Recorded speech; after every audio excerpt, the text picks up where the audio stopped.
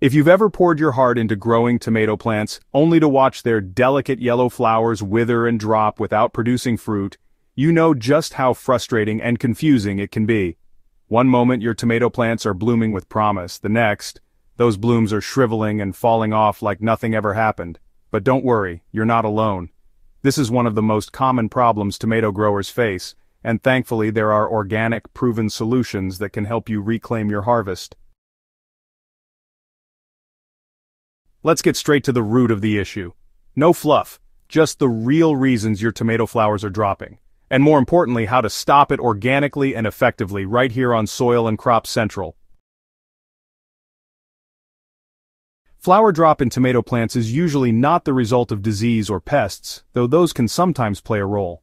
The most frequent culprits are environmental stress and pollination failure. In other words, the plant isn't sick, it's reacting to something wrong in its surroundings or reproductive process.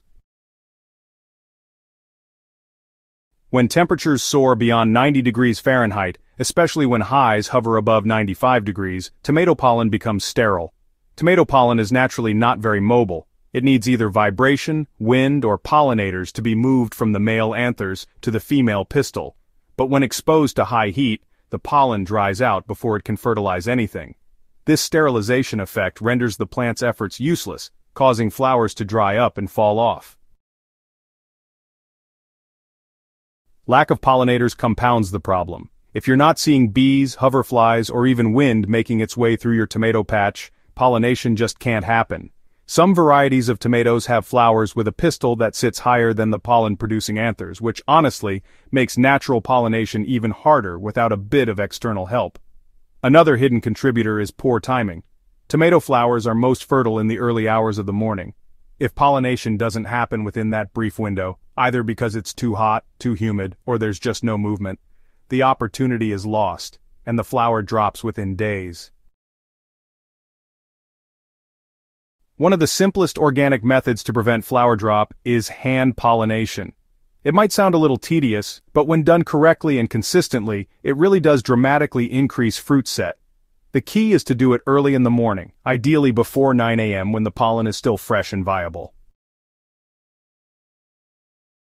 To pollinate by hand, gently shake the plant or use an electric toothbrush, a soft paintbrush or even your fingers to mimic the natural vibration of bees.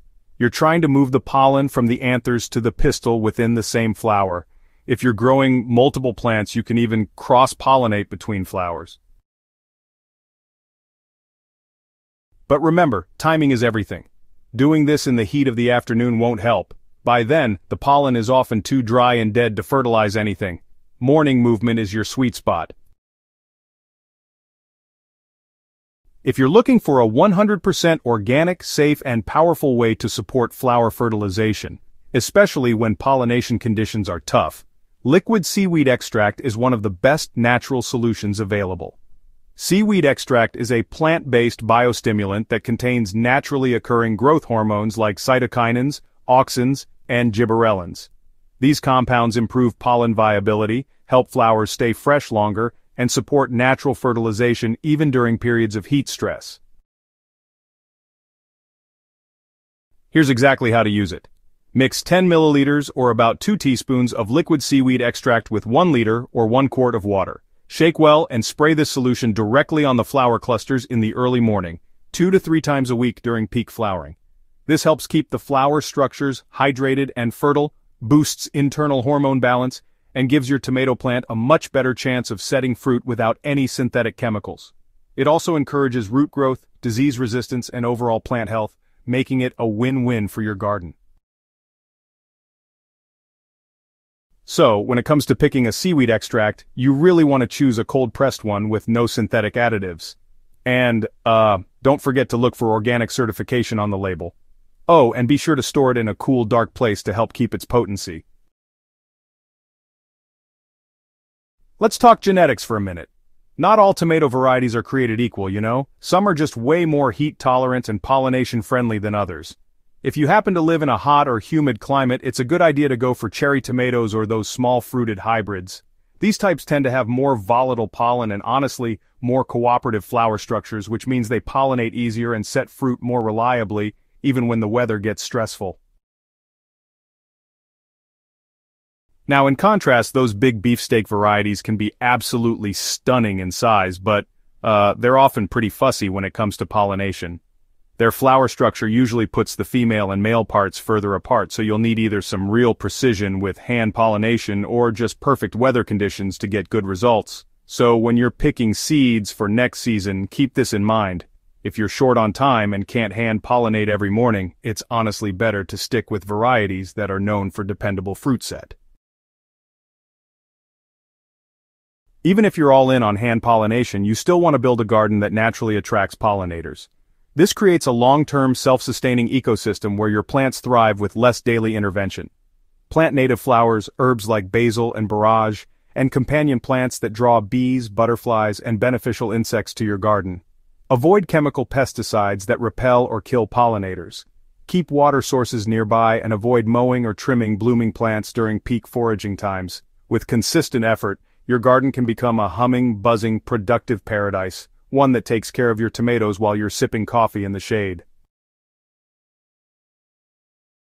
Since heat is the number one trigger for sterile pollen and flower drop, finding ways to manage temperature is crucial. You can't change the weather, but you can adjust your microclimate. Use shade cloths during peak afternoon heat to lower the temperature around your tomato plants. Choose light-colored mulch to reflect heat and retain soil moisture. Water deeply in the early morning to keep the plant hydrated and stress-free throughout the day. When things cool down, usually in late summer or early fall, your tomatoes will naturally bounce back and start setting fruit again. The key is keeping your plants healthy and alive through the stress so they can pick up right where they left off. Every gardener hits a wall at some point. Watching those flowers drop with no tomatoes in sight can feel like a blow.